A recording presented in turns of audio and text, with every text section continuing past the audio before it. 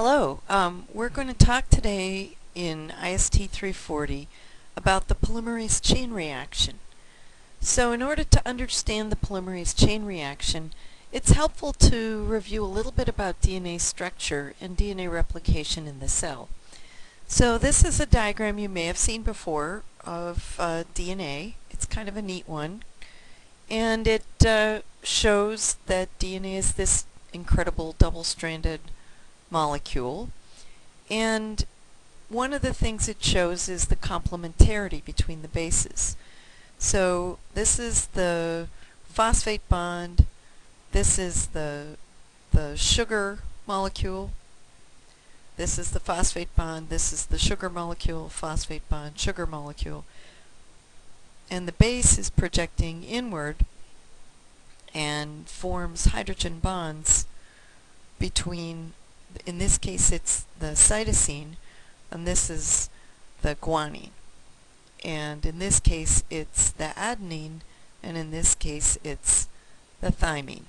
So there's two, two bonds, two hydrogen bonds forming between the A and the T, and there's three hydrogen bonds forming between the C and the G. And even without knowing very much about what's going on, you should be able to look at this and realize that the, the purine, or double ring molecule, that forms two hydrogen bonds must be the adenine, and the pyrimidine, which forms two hydrogen bonds, must be the thymine. The, the pyrimidine that forms three hydrogen bonds must be must be cytosine, and the the purine that forms three hydrogen bonds must be the guanine. So this is our double-stranded DNA molecule and one reason I like this representation is because it shows the carbohydrate is pointing in one direction and then on the other strand it's pointing in the opposite direction. And so it's anti-parallel. So moving on, we'll kind of review a little bit about the biochemical mechanism of DNA replication. So DNA replication requires enzymes, and enzymes are biochemical catalysts that speed up the reaction without being consumed by the reaction. Enzymes form um, and break covalent bonds, so they are able to reduce the amount of energy required to break bonds and form bonds. And every chemical event in the cell depends on the action of some kind of enzyme.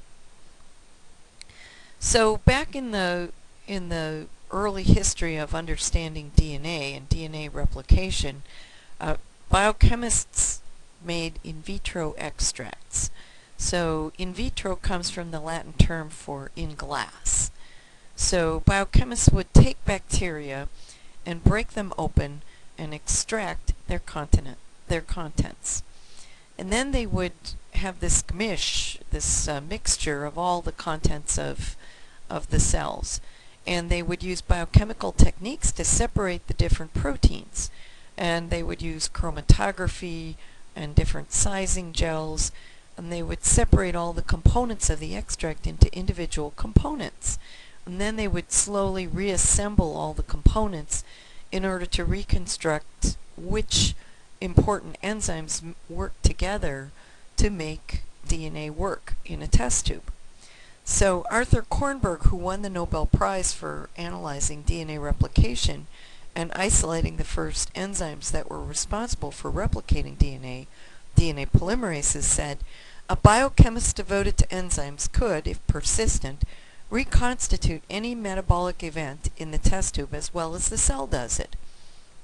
So that was the idea.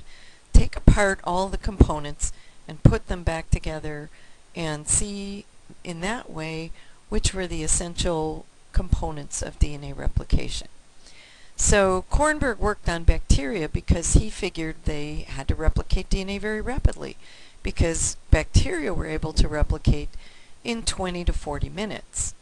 So whatever enzymes must be required must be present for DNA replication in simple bacterial cells. So he got his bacteria growing very rapidly and broke them open. And he isolated the DNA replication enzymes into different fractions, and the fractions contained more purified enzymes.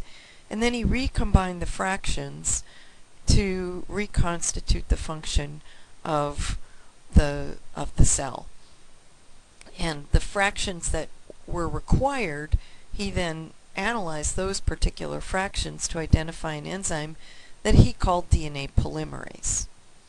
And he concluded that what was needed was a DNA template of a single-stranded piece of DNA, and then he had to add in a synthetic primer. Uh, so, in other words, the DNA had to have be single-stranded in the test tube, and then have a complementary strand that contained a free 3' end that extended over a template. And that was an important discovery even without understanding DNA polymerase because that enabled them to characterize, you know, the fact that DNA required a primer in order to replicate. So the DNA, the DNA polymerase couldn't make DNA if you just gave it uh, nucleotides. So DNTPs are the deoxynucleotides that are present. So you had to have those individual DATP, DTTP, DGTP, DCTP. You had to have all four of those present in order to replicate the DNA. So the DNA template was necessary, the primer, the polymerase, and these DNTPs. And when they were added back, then you could replicate the new growing strand of DNA. And they could tell it had replicated because they used to add some radioactive deoxynucleotides to the mix. And then they would start out with DNA that didn't contain any radioactivity, and then they would gradually get radioactive DNA that they could analyze. So they could use that as an assay. So doing this, he discovered a number of different DNA polymerases. Uh, the first one that he discovered was called DNA polymerase 1. And naturally, and the next one was po polymerase 2, and the next one was polymerase 3. So DNA polymerase 1 um, was a pretty neat DNA polymerase. It's got quite a few different activities in one single subunit enzyme. The size is about um, 102 kilodaltons and it is a single monomer. There's about 300 molecules of DNA polymerase 1 per cell. So it works from 5' to 3'. It can chew back DNA. it's not just a polymerase, it's an exonuclease. So it, it contains the ability to chew back DNA from the three prime end to the five prime end and it also contains some five prime to three prime exonuclease function.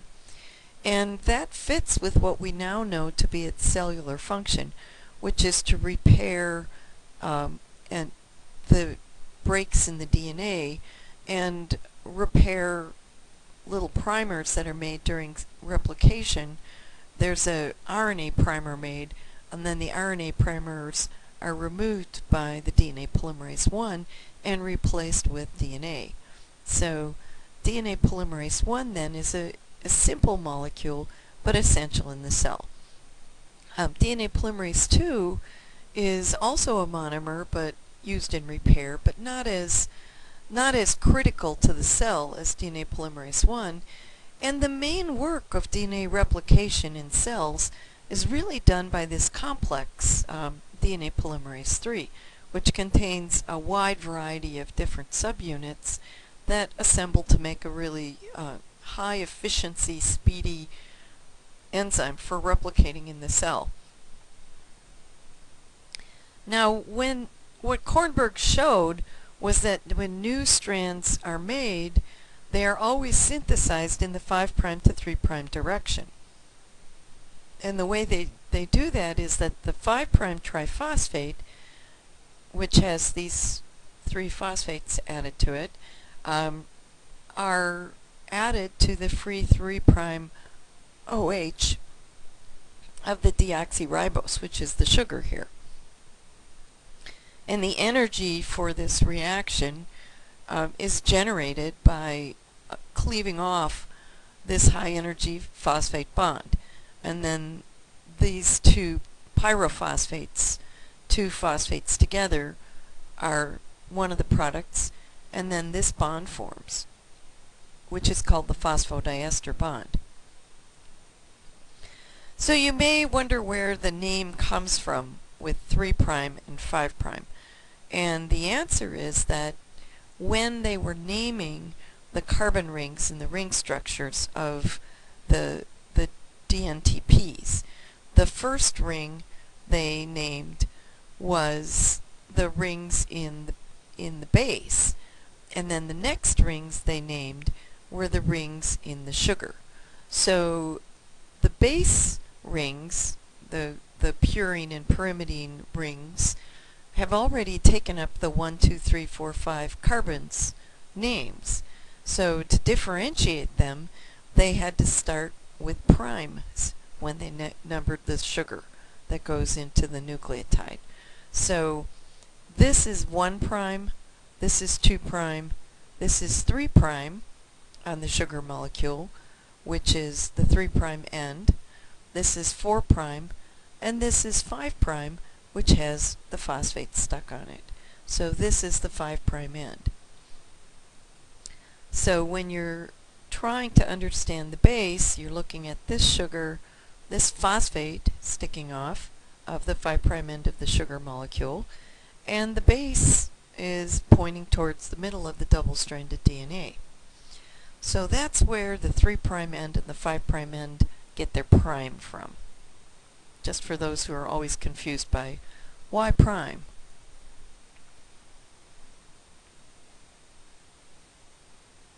Oh, this thing is taking me a minute. So why is it then that polymerases have evolved to only add nucleotides to the 3' hydroxyl end of the DNA molecule? And we've mentioned before that the triphosphate provides the energy for the bond that's formed between the newly attached nucleotide and the growing DNA strand. However, this triphosphate is very unstable and it can easily break into a monophosphate and an inorganic pyrophosphate which will float away into the cell. And at the 5' end of the DNA, this triphosphate uh, could break off and so if a strand was sitting in a cell for a while, it wouldn't be able to attach a new nucleotide to the 5' end once the phosphate had broken off. Whereas the 3' end only has a hydroxyl group. So as long as the new nucleotide triphosphate is carrying the triphosphate in and it's brought in by the DNA polymerase, there'll always be some energy for the new strand to continue, no matter how long the 3' end has remained free. So if the cell, if the DNA had evolved to have the, the phosphate groups hanging off the 5' end, then um, they could break off and not be usable.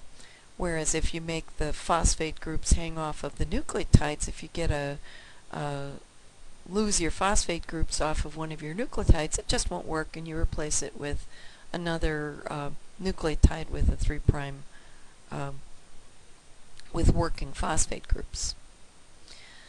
So because you can only build off the free 3' prime end, there, that presents a problem because one strand of the double helix is running 5' to 3' and the other strand is running 3' to 5'. And that's the whole business with um, being um, anti-parallel. So how can the DNA polymerase synthesize new copies if it can only travel in one direction? So in cells, the DNA solves this problem by requiring a replication fork. It opens up and then it starts replicating in both directions. And one strand is replicated in short little pieces that have to be joined together, and the other strand is replicated pretty much continuously. And so that strand is the one that the, the 3' end is facing right into the fork, and the other strand you have to keep opening the fork up and then starting little short pieces that get joined together by DNA ligase. So when they're copying that template strand, here's a little diagram that shows how this works. Uh, this is the piece that acts as the primer. This is the piece that acts as the template. So the new nucleotides, deoxynucleotides, are being added growing from the 3' end. So you say that the direction is 5' to 3'. They, on the other strand, they're going to be growing upside down, and you you're growing again from the free 3' end towards the 5' end. By convention, when we draw a molecule of DNA, we always put the 5' prime at the upper left, and we always put the 3' prime right below it. This side's the 3', prime, this side's the 5'. prime. Now, if you happen to have an underlying template, but you don't, and you have some some bonding in this fashion, and this is your 3' end, which your cell could do, you could have a piece of DNA that would do this, you're not going to get any extension of the nucleotides from this 3' end because you have no template. So you not only have to have this you have to have this template and you have to have this 3' end in order for DNA polymerase to copy a template strand. So pretty much we knew this um, from Kornberg's work that won the Nobel Prize uh, for describing how DNA replication occurs. So the, the polymerase chain reaction is a simple technique that uses this information from the cell to amplify DNA fragments in vitro in a sequence-specific fashion. PCR is very fast and it's very sensitive. And traditional techniques could also replicate DNA, but they required you to chop out a piece of DNA, put it into a plasmid, uh, anneal the plasmid together, transform some bacteria, um, grow the bacteria, isolate the plasmids, and then analyze the DNA that you had amplified. Whereas you can take a whole genome, add two primers that are close to one another, and that can replicate many, many copies between the two primers, and that can be performed in as little as an hour. So many biochemical analyses require that you start out with a lot of biological material, whereas PCR can, can amplify as little as a single DNA molecule. PCR has many applications in basic research. It has many commercial applications. It's used in genetic identity testing. It's used in forensics. It's used for quality control. It's used in plant and animal breeding. It's used in vitro diagnostics, and it's used in research very often. So it's a, it's a great technique. It was invented by Kary Mullis, and it was considered such an important breakthrough that he was awarded the Nobel Prize in Chemistry in 1993. And he was thinking about how to replicate DNA and, and analyze it better and he was driving along. Um, by his story, he was somewhat under the influence of hallucinogenic drugs, and he was driving a particular windy road um, in La Jolla, California, on the way to work, and going back and up and down on the switchbacks of the road led him to think about how the DNA unwinds and replicates, and he came up with the idea of putting these two primers together to make targeted replication of only a portion of the DNA. So what PCR that does then is target a specific subsequence to be replicated in a larger DNA molecule.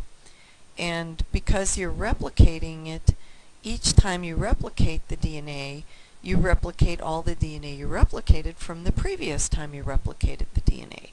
So that each PCR cycle can theoretically um, double the amount of DNA from the first cycle. So if you started out with two copies, the next cycle you'd have four copies, and then eight copies, and so on. So during PCR, an existing DNA molecule is used as a template to synthesize the new strand. And through repeated rounds of DNA synthesis, you make a large amount of DNA. So it's, it's based on understanding DNA replication and uh, another scientist who also won the Nobel Prize, um, Sanger, uh, figured out how to use DNA replication in a primer to do DNA sequencing. And so Kary Mullis's invention came about by putting two primers together to replicate DNA in a specific way. Um, so Kornberg knew you could replicate it in a test tube. Um, Sanger figured out a way to replicate with one primer and make one strand of DNA that you could sequence. And then Kary Mullis found you could take two primers, point them towards their three prime ends, towards one another, and then replicate all the DNA between the two primers. Now the the first primer, the first polymerase that uh, was used in PCR was that original Kornberg E. coli DNA polymerase 1. And the problem was that came from E. coli, which aren't very thermal stable, so every time you did a cycle of heating, you wound up killing the polymerase. So one of the contributions of PCR was the original PCR didn't use thermostable polymerases, but subsequently they were added, and adding them made it really practical because after, when you use a thermostable polymerase, you didn't have to add fresh polymerase to every cycle. So I'm going to um, jump here to a nifty website from the DNA Learning Center and it contains an animation of PCR that I find really helpful for explaining it. So I'm going to go through and follow this step-by-step -step amplification method. So in PCR, in the test tube, you've got all the components for DNA replication and we'll go through them in a, in a little bit. And what you do is first you heat your DNA to melt it so that the hydrogen bonds are held together energetically in the cell and you can you can break those hydrogen bonds by adding energy by heat. And so when those hydrogen bonds are broken then they're single-stranded and primers can be added. So what you do is you lower the temperature and allow hydrogen bonds to form between the primers. So symbolically on this diagram there's a little ball in the red primer and there's a little ball in this primer. Those little balls represent the 5' end of the primer. So this is the 5' end of the primer which is sometimes called the upstream primer and this is the 5' end of a primer that's sometimes called the downstream. So this is also sometimes called the forward primer and this is sometimes called the reverse primer. This strand is the sequence of this strand above it and it's complementary to this strand below it. This one is equal to, it, it contains the same sequence as this strand and it's complementary to this strand. So I always tell my students when they're designing a primer that this is the top left and this is the bottom right. So when the when you've got it at a good temperature for hybridization, these primers then form stable hydrogen bonds. And then the next step is to raise the temperature at, to 72 degrees for a few minutes. And this allows the Taq DNA polymerase to attach and extend. So now I'm going to click extend and the Taq DNA polymerase jumps onto the free 3' end and replicates the DNA along the template. So at this point now we've got a primer end that's defined because you can't, that particular strand, we know which end it is. And this particular strand, we know which end this one is. The, this is the original template and it remains in the test tube.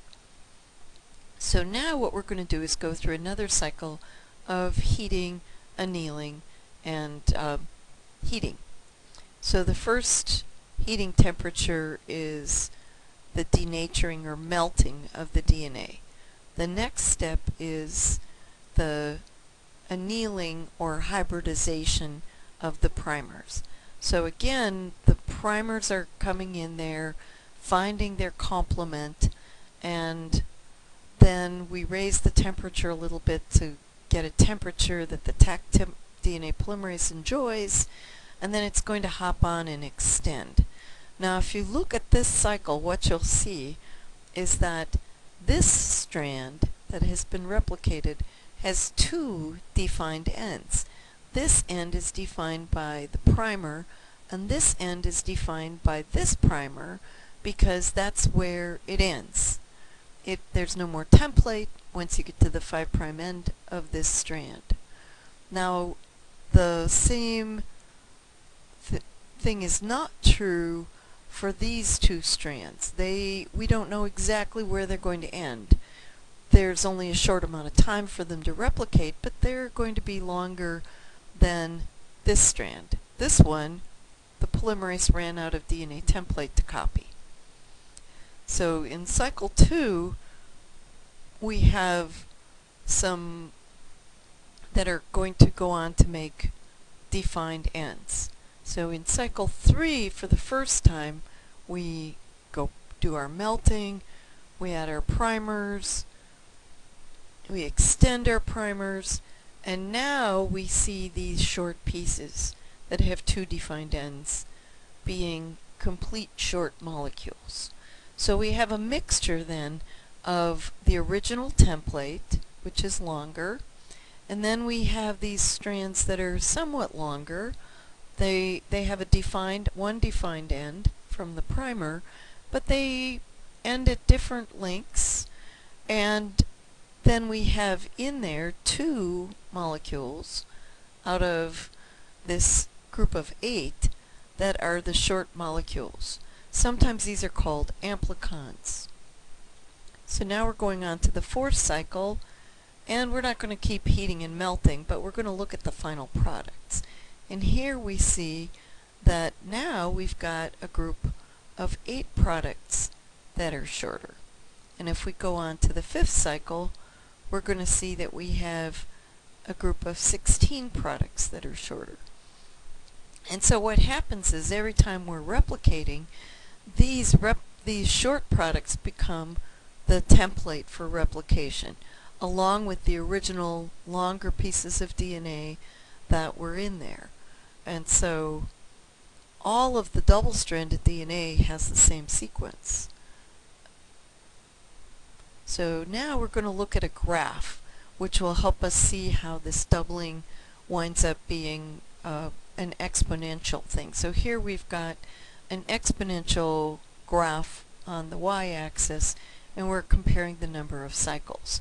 So when we do the first cycle, we're copying the DNA, but we're not necessarily getting those short pieces that in this graph are called the target copies. The second cycle, we still don't have any targets. And when we get to the cycle three, we've got two targets that are copied. So we go on to cycle four, we've got eight target copies, and then we go on to cycle five, and now we've got 22 target copies. So we keep increasing the number of target copies. And as we go along, what you'll see is that there's the, the difference between the DNA copies total and the ones that are the short target copies kind of decreases because more and more of the templates are the short copies that have been amplified.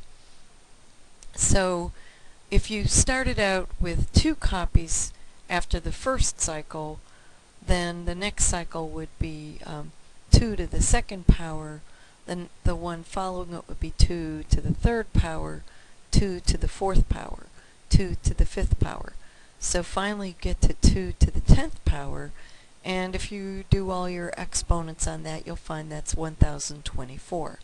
So you can use the cycle number as your exponent over 2 to figure out how many DNA copies total are present after a certain number of cycles.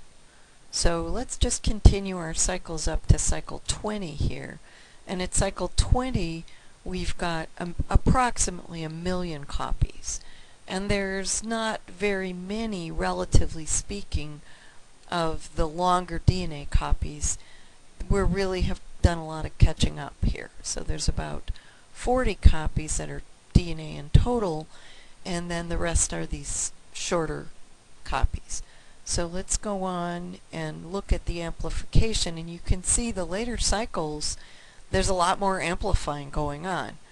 And when you get to cycle 28 now you've got a quarter of a billion now you've got half a billion at cycle 29 and then by cycle 30 you've got a billion. So that's a lot of replicating to go forward.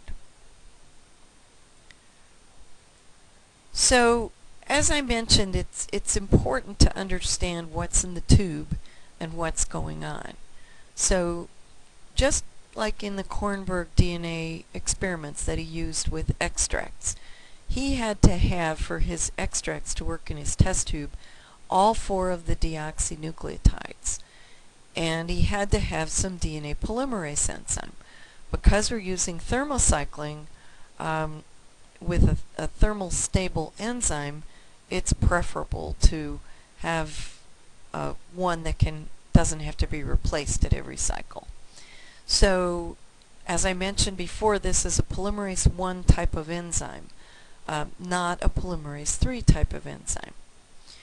So you need target DNA. That target DNA can come from a genomic DNA, it could come from a clone, you could synthesize some DNA and then amplify it. So there's lots of ways you can get the target DNA. And you have to have the DNA primers. Those are short, chemically synthesized DNA that are complementary to the target DNA. And we make those short primers chemically using a machine. You need some buffer that will keep the pH at the correct um, the correct pH for the enzyme to maintain its proper configuration. If the pH is too low or too high, the DNA um, polymerase will somewhat denature and it won't be a very effective enzyme. Its, its bonds will fall apart. The magnesium chloride is contained as part of the active site of the DNA polymerase. So all the enzymes that are breaking and, and forming these phosphodiester bonds, so restriction enzymes, DNA polymerases, um, all kinds of enzymes that break and form phosphodiester bonds require um, magnesium chloride. And they also require the energy from a, a phosphate bond breaking. And so that phosphate bond then um, it's, it's contained in the deoxynucleotides. So the primers are very critical. They define the DNA sequence that's going to be amplified. So if you have 3.3 billion base pairs in the human genome and you want to amplify 100 base pairs of that genomic DNA, you want to find two primers that are complementary 100 base pairs apart, that one is complementary to the top strand and one is complementary to the bottom strand so that it runs with three prime ends running towards one another.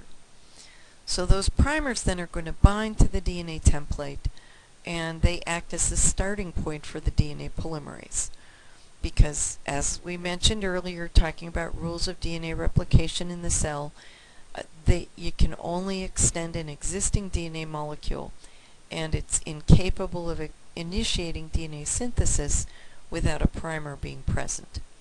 So the distance between the two primers determines the length of the newly synthesized DNA molecule. So it's the DNA polymerase is going to add a single deoxynucleotide triphosphate complementary to the existing strand, chuck down one, add an, the next complementary one. So, and that deoxynucleotide is added to the to the free 3' end of the growing strand so the DNA synthesis can occur in the 5' to 3' direction. And the sequence then is going to be complementary to the template strand. So this is looking in closer detail at this. So we've denatured the DNA by heating. And when I first heard about PCR, I was always puzzled by it. I mean, we read the original PCR paper that was published and we all looked at it and I went, I don't get it. I don't understand why the DNA strand doesn't just slam shut and stably stay shut as soon as it hits the temperature for annealing the primer because the you get a much stronger hydrogen bond between longer pieces of DNA than between short pieces of DNA. That was something we knew from um, doing DNA sequencing with one primer. We knew that we had to heat the DNA to make it single-stranded with primer present, and then we would gradually cool the DNA so that the hybridization could occur between the primer, and we were always worried that the whole thing would slam shut. And the reason it works is that you have many more fold excess primer than target DNA. So you have a lot more moles, um, 10 to the minus 12th moles of primer, whereas the template is at 10 to the minus 20th moles of template. So you're operating at 100,000 fold excess. So you have a lot more primer. So that means even though it is true that the two strands slamming shut will form a more stable hybrid, those little pieces get in there and can form a, a complementary hydrogen bond because there's so many of them relative to this strand finding its exact complement. So once they have once you lower the temperature to the the correct temperature for the hydrogen bonding to occur with the primers and the template, then um, you've got free 3' prime ends that are facing each other that can be extended. So um, it's very important to pick the right temperature for this to occur. And at 55 degrees centigrade, about 18 nucleotides of primer in length will efficiently form a hydrogen bond to a DNA template. So the adjustments in temperature and time um, can be made to take into account whether or not the primer is got lots of G's and C's in it because the GC pairs have three hydrogen bonds and so they form a more stable hybrid. The AT pairs have only two hydrogen bonds so they form a less stable hybrid. So you want a lower temperature when you have primers with lots of AT pairing going on and you want a warmer, higher temperature when you have primers with lots of GC primer pairing going on. So I always think of the hybridiz hybridization temperature as being uh, similar to an organic chemistry exam. If you make the exam too easy, everyone passes, everyone gets a 100, and the teacher has no idea what anybody knew. Uh, if everybody gets a 100, then you can't tell whether or not some people studied harder. It was too easy. But if you make the test too hard, no one passes. And then you can't differentiate between people who studied and didn't study because everybody fails. So you want the temperature to be able to differentiate between the the correct primers and can and if it's the right temperature you won't get false priming. So if the temperature is too low, the primer will form weak hybrids with all kinds of regions with partial complementarity. When the temperature is just right, uh, you get complete complementarity. And when the temperature is too high, the hydrogen bonds are unstable and you don't get any complementarity and there's no PCR that occurs at all. So you get a false negative in that experiment. So as I mentioned, longer primers can form more stable hydrogen bonds. The ones with high GC can bond at higher temperatures and high AT can bond at lower temperatures. So there are differences between PCR and in vivo DNA replication. The double-stranded DNA template doesn't require in the cell that it be completely denatured into single strands. So that in the cell there's all kinds of uh, single-stranded binding proteins and there's DNA gyrase and DNA helicase and topoisomerases that are basically pulling apart the strands, unwinding the strands, clipping the strands to let them unwind and then putting torque back into the, the system so that it, you get the correct uh, torque on the, the double-stranded molecule. So you don't need a primase to make an RNA primer to prime the DNA replication either, since in the PCR reaction you're providing the primers that you need. And you don't need special sequences to tell you where to start or stop DNA replication in the cell. You can use any primers you want, and that'll be where DNA replication starts. So we have a whole technology to do this using uh, instruments called thermal cyclers. And they have a heat conducting block or sometimes they have tubes that are in a, a like a hot air blower that'll change the temperature really fast. And those blocks will change the reaction temperature. And so they've got a little uh, program that you can enter to maintain the appropriate temperature for the required length of time for each step of the cycle. You put your mixture of all six reagents into the reaction tubes. You put them inside the thermocycler and then that heats and cools the heat block to achieve the necessary temperature inside the tubes. And when you program the thermocycler, you specify a series of temperatures and times. You start out with usually a slightly longer melt temperature uh, and time. So you melt maybe at 94 degrees for two to four minutes.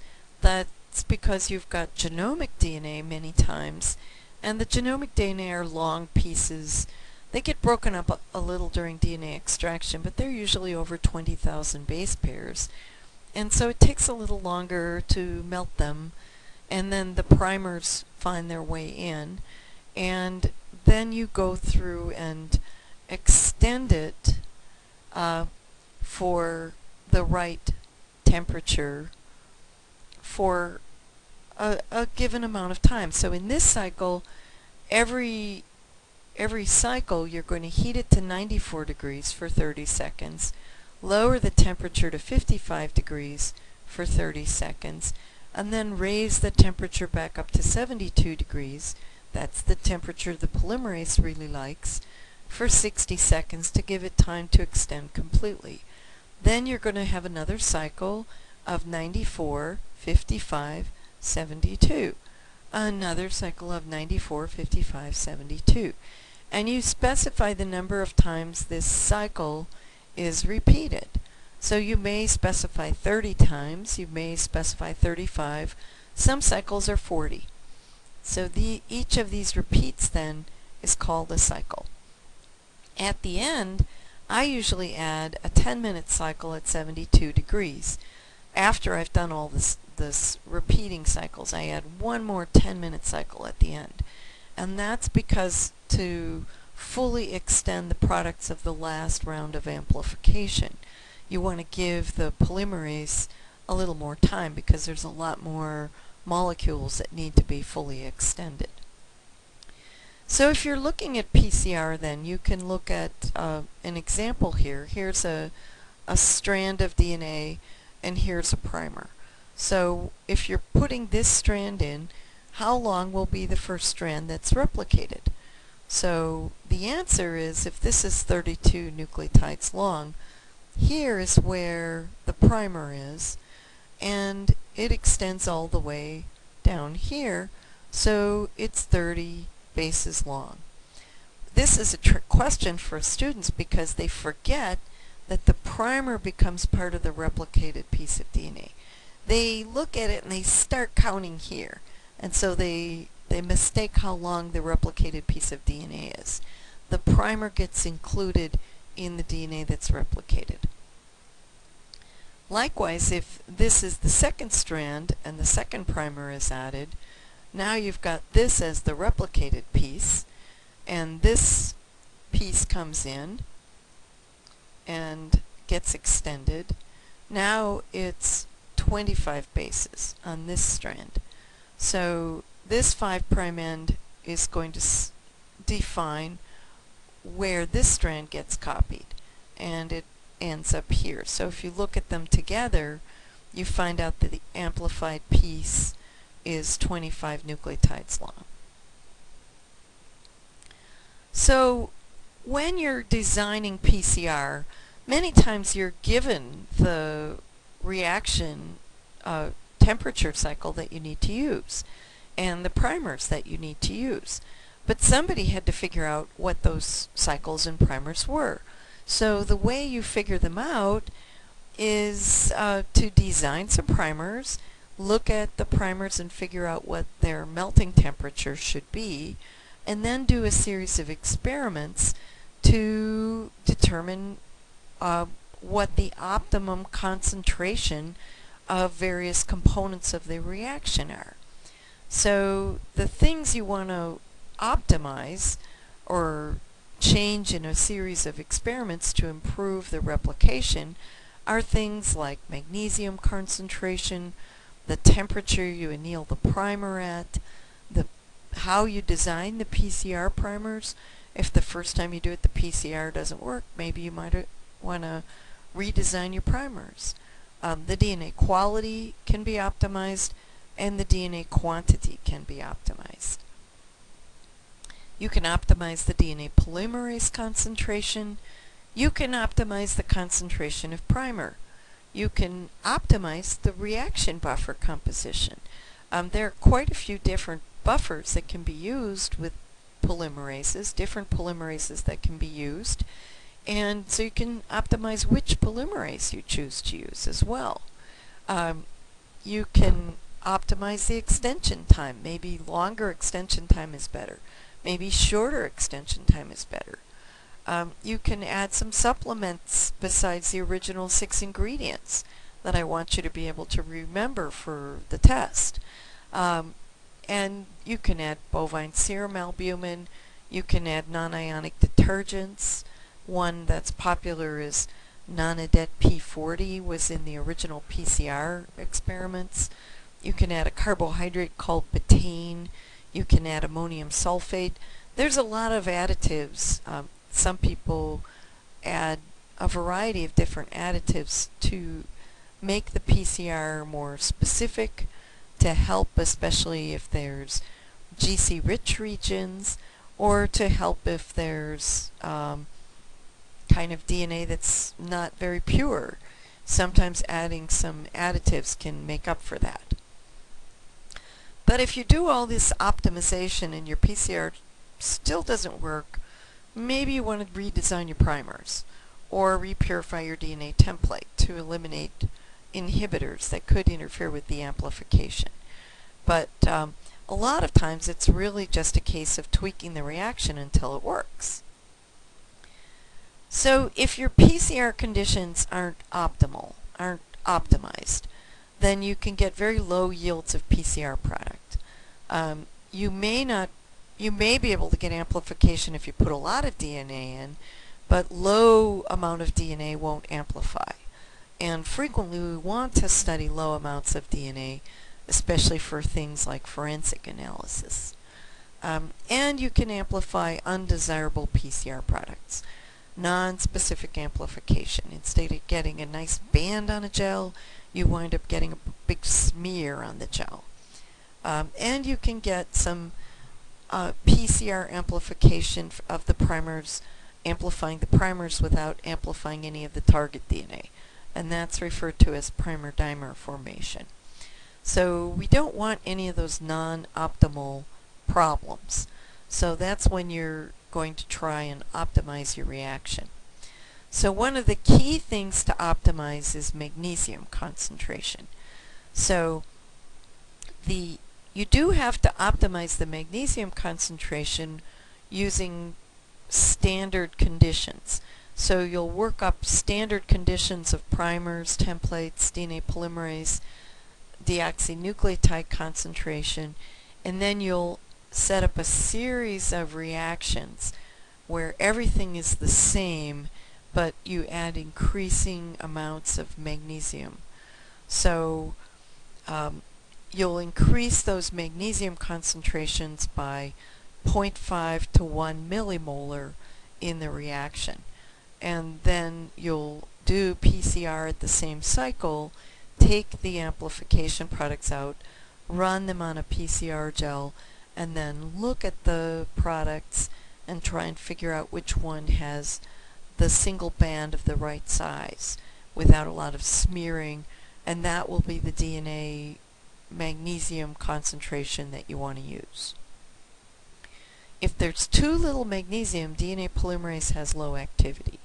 But if there's too much magnesium, then that facilitates binding of, it, it lowers the temperature required for binding it acts like a salt to stabilize the hydrogen bonds, and um, you'll get nonspecific amplification. And when you get less specificity in your priming, you're going to have also potentially um, too many smeary bands, and you'll also get less fidelity of the DNA polymerase itself, and you'll get a higher error rate in your replication. So you don't really want too much magnesium. So a lot of the time uh, in lab I use Promega Master Mix and that has kind of a, a standard concentration of 1.5 millimolar magnesium. And it's really quite easy to add additional 25 millimolar magnesium chloride to the reaction and bump up that titration of magnesium in replicates as you go through and figure out if you need more magnesium. There are a variety of different polymerases with different capabilities that you can use in your DNA replication PCR experiments. The most common one is Thermus aquaticus or Taq DNA polymerase, and that has a range of 1 to 4 millimolar magnesium chloride as its optimum.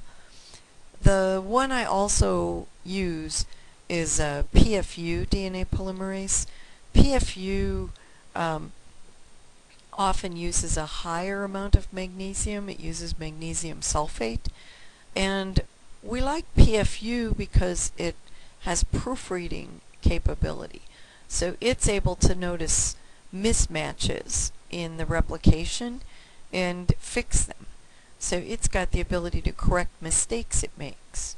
Whereas Taq has very good processivity. It replicates the DNA very quickly, but it doesn't know when it's made a mistake. So if you make a mixture of PFU and Taq, you get the best of both worlds because you get the processivity of the Taq DNA polymerase and the PFU plods along, but it notices that the Taq has made some mistakes and it goes in and fixes them. So these other polymerases are also variously good processivity or good proofreading. So the temperature that you pick for that middle temperature, that annealing temperature, is the, the temperature that is also really critical to optimize. And as I mentioned before, it depends on how long the primer is and what its nucleotide concentration is. And one thing you get when you order the primers is they'll, they'll give you um, the melting temperature, or TM, of the primer. And so usually the optimal annealing temperature is within 5 degrees centigrade of the melting temperature of the PCR primer. So if they tell you that the melt, the TM of the primer is 56 degrees, then the optimal annealing temperature is going to be somewhere between 51 degrees and 61 degrees. And so the TM is the temperature at which 50% of the complementary DNA molecules will be double-stranded. So half the DNA will be melted and half the DNA will be unmelted at that temperature. So that's a, that means you can form a reasonably large number of stable primer hybrids with the DNA. So it's very important for both primers in your primer pair to have a similar uh, annealing temperature because if one is very low and the other one is very high, you have to use the low temperature. And then the, the primer that is um, that requires the high temperature will work at the lower temperature, but it might also find some mismatches that it works at equally well and you won't get very good specificity. Now in forensic DNA we often amplify lots of sets of primers. So we can do 12 or 16 or 20 different sets of primers in one tube and that's called multiplex PCR. So when you're doing multiplex PCR with a single PCR reaction, all the primers have to have similar annealing temperatures. Um, so when you've got the right temperature, the primer only binds to its complement and not to mismatched sequences. If you pick a primer that has multiple complementary sequences because you have a primer that has you maybe there's replicates of that gene within the genome, you're going to get multiple bands. So you do have to know a little bit about the genome that you're looking at in order to understand what, what result you're going to get with a given primer. So you need to run a little experiment. So you make about 10 tubes of PCR with identical reagents in them and you put them in the thermocycler and you program the thermocycler to have a gradient across the, the temperatures. And then you see, you take the tubes, you run the products of the tubes on a gel, and you look to see which temperature had good amplification. And you pick the lowest temperature, or the highest temperature that works, because the higher the temperature, the more specific it should be. And so the, the highest or second highest temperature that works is usually the best one to pick. Many of the problems of PCR are avoided by having good primers. And ideally, all the primers should have similar melting temperatures, and that's achieved by having similar GC content, since the GC content predicts the melting temperature. And but when you're looking at your primer pairs, their melting temperatures can be in the range of 45 to 70 degrees centigrade. Sometimes people use primers that are not a perfect match. Sometimes they use conserved primers across a variety of species to amplify the DNA in a, in a species about which we know nothing about its DNA.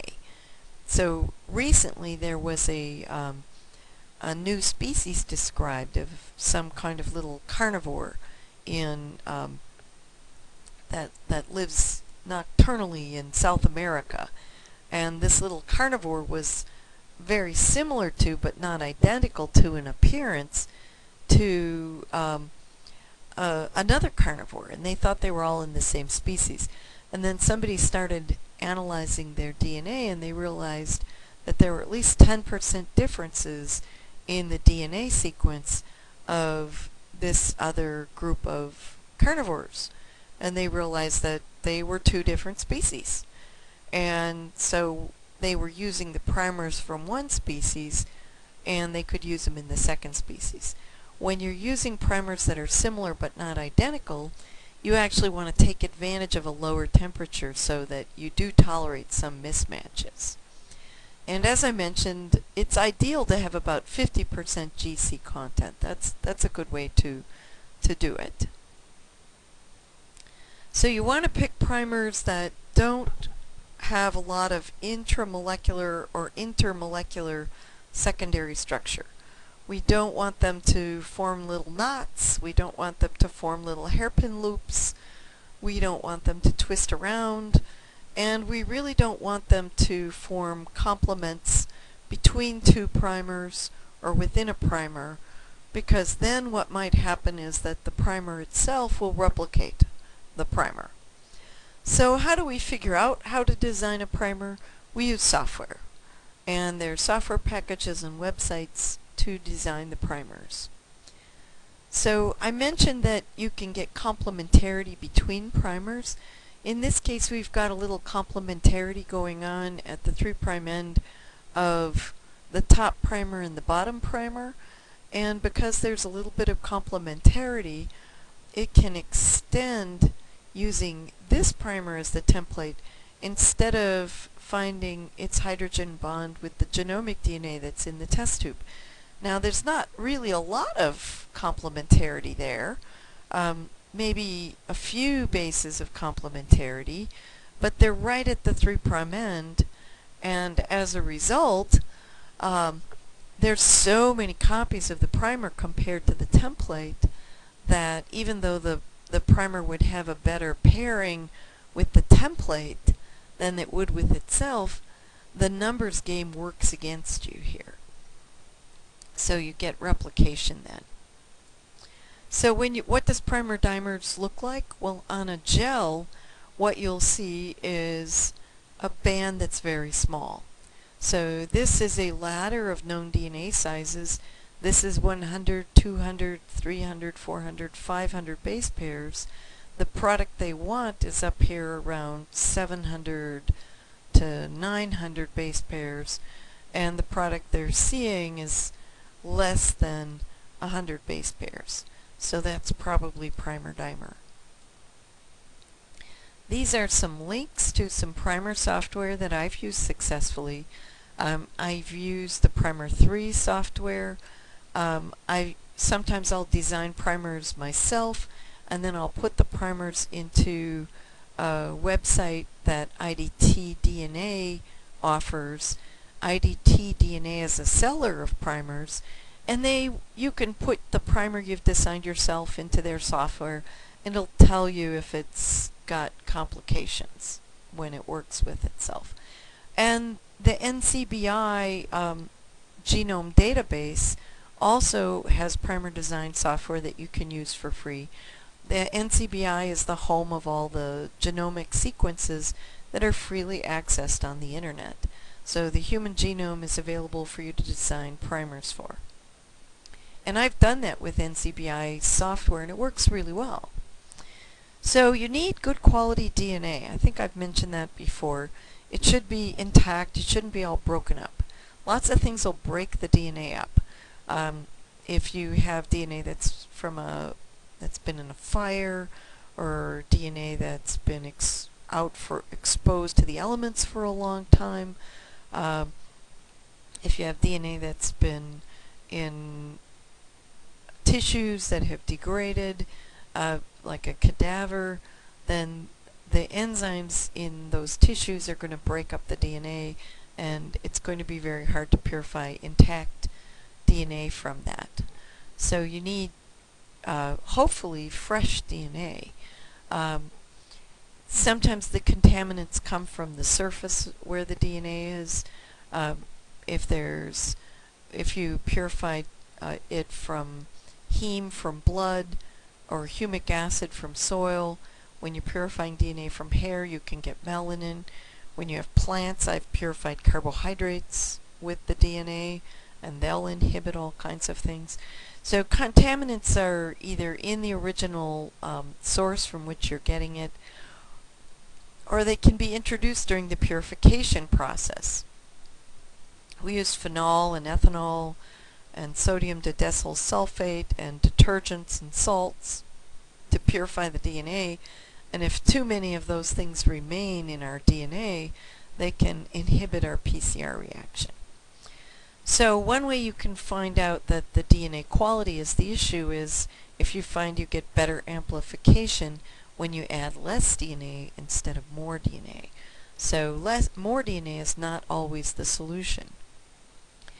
Um, high molecular weight DNA, as I mentioned, is preferred. Um, one way to find out you've got high molecular weight DNA after you've purified it is first you figure out your quantity using a spectrophotometer, then you run a gel on it. So on this gel, this is what good high molecular weight DNA looks like. There's um, a large DNA, very large pieces stick in the well of the agarose gel, and then these pieces are pretty big and there's a few degraded pieces here. These two samples have a little more sample degradation but there's still quite a bit of high molecular weight DNA. This sample doesn't have any high molecular weight DNA and it's more degraded. So this one would be less preferable for amplification. It, one reason that we do only about 30 or 40 cycles instead of continuing to cycle and cycle and cycle is that over time the genomic DNA will start breaking due to DNA heating. So over time the, the actual template begins breaking down as you heat it. Some of the DNA purification methods that we're going to use involve heating the DNA um, and we don't want to heat it at very high temperatures for a long time because then the DNA will be more degraded. The quantity of DNA is also important to optimize. Um, there's a temptation for people who first start out to add more template, but more template is not necessarily better. In fact, too much template can cause nonspecific amplification and a lot of problems. Of course, too little template and you're not going to get any PCR or very little PCR. So uh, the amount, optimal amount of template depends on the size of the DNA molecule. So if you have a really small genome, you can add less template and get the same number of copies of the material that you want to amplify. If you have a really huge genome, you need to add a little more DNA in order to amplify a, DNA, a gene from the genome. So I'm going to end with a funny video that was made by a manufacturer of thermocyclers. And so it's based on the, it's a really a, a commercial for DNA thermocyclers. And of course it didn't run on television, it ran on YouTube. And they put a link up and they were doing a, a, a mockumentary of of the song that was that was done for raising funds um, for individuals. So it, it's a funny funny video. So we'll watch it. It's a YouTube. Jim and John are both covered by the nation's best networks. Sorry for the commercial. Jim uses Entelos Wireless.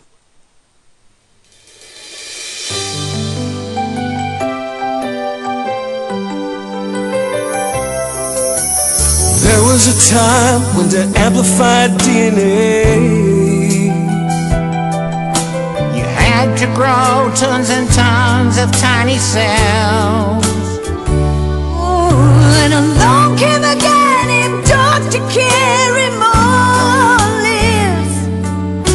Said you could amplify in vitro just as well Just mix your tablet with a buffer and some primer. Nucleotides and polymerases too. Denaturing, annealing, and extending Well, it's amazing what heating and cooling and heating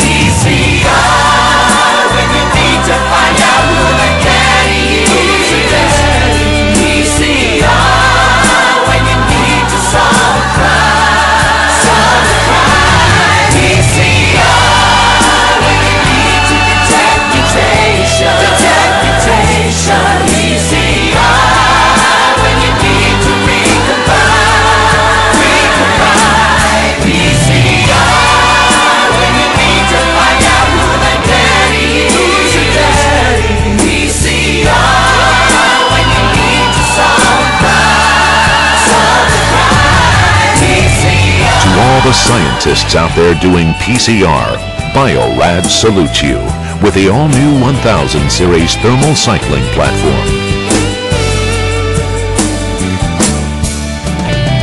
So, hope you enjoyed this, and I hope it actually recorded this time.